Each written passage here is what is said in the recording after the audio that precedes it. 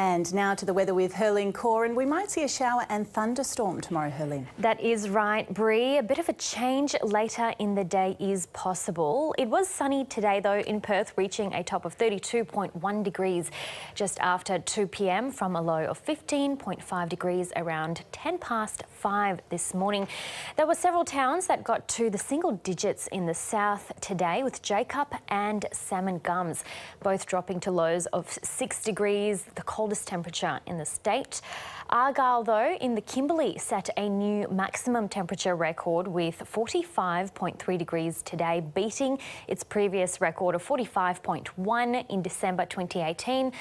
Although the hottest town today was Fitzroy Crossing, where it clocked a scorching 46 degrees this afternoon. And speaking of heat, there's currently an extreme heat wave forecast for parts of the Kimberley and North Interior, as you can see there. So temperatures will remain very high right into next week. On the satellite, and we saw some low level cloud in the interior today, as well as parts of the NT. A broad trough will develop over southern inland areas of the state tomorrow, which is what will bring those possible showers and thunderstorms to parts of Perth, as well as the southwest land division from the late evening evening, to late afternoon and evening tomorrow. Nationally, and Tropical Cyclone Jasper is currently over the Cape York Peninsula and is slowly tracking westwards, likely moving off land and into the ocean, but that won't stop the wet weather from continuing, especially in northern Queensland. Brisbane is in for showers and a possible storm tomorrow, reaching 32 degrees, sunny and 35 in Sydney, easing showers down in Hobart, partly cloudy for Adelaide and showers in Darwin, a possible storm storm 33 degrees. Back to WA's north, there'll be isolated showers and thunderstorms over the northern and eastern Kimberley, as well as for parts of the north interior. Many towns in the north will remain in the 40s, including for parts of the Gascoyne as well, top of 43 in Newman. It'll be warm and windy over central parts tomorrow. There'll be parts of the region with severe heat wave conditions, mainly inland. There's also the chance of thunderstorms over the central wheat belt and central west, as well as for parts of the Great Southern and Goldfields, most likely in the late afternoon and evening.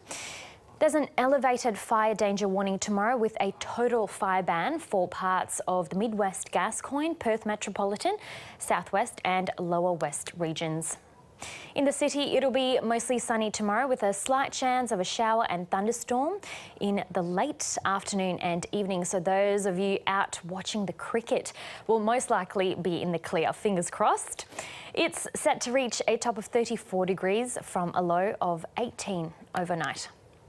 On the local waters, winds will be southeasterly up to 30 knots with a swell of around one metre. The sun will rise at 5 minutes past 5 and set at 19 minutes past 7. Now looking ahead, any of those lingering showers left on Sunday will be hopefully cleared out by early afternoon, reaching 30 degrees, sunny and 31 for Monday. Tuesday, a top of 33 degrees. Wednesday and Thursday will be windy with partly cloudy conditions, tops of 35 degrees. And finally, 30 on Friday, Bree. Thanks, Herlyn. And finally tonight, the South Australian Government has referred allegations of misconduct against an Aboriginal art centre collective to two regulatory bodies. It follows claims by artists that non-Aboriginal assistants have painted elements of the artwork. Works continuing at the APY Arts Centre Collective Gallery in Adelaide, although the organisation has been battling. We are one of the most scrutinised Indigenous arts organisation. We've had two reviews done, which has been um, really hard for us to go through.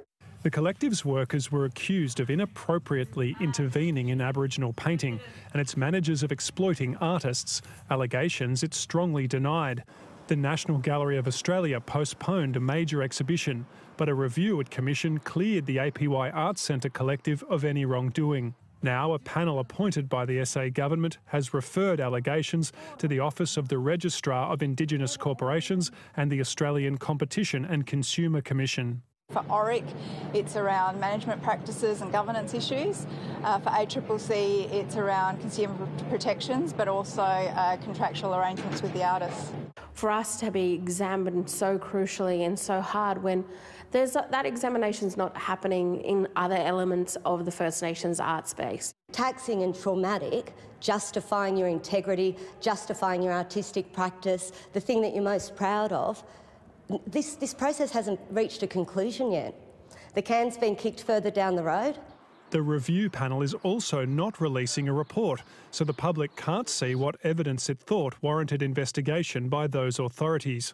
The panel didn't have powers to protect witnesses, it didn't have powers to compel uh, witnesses to give evidence, so we've gone down that path of them referring to and ACCC.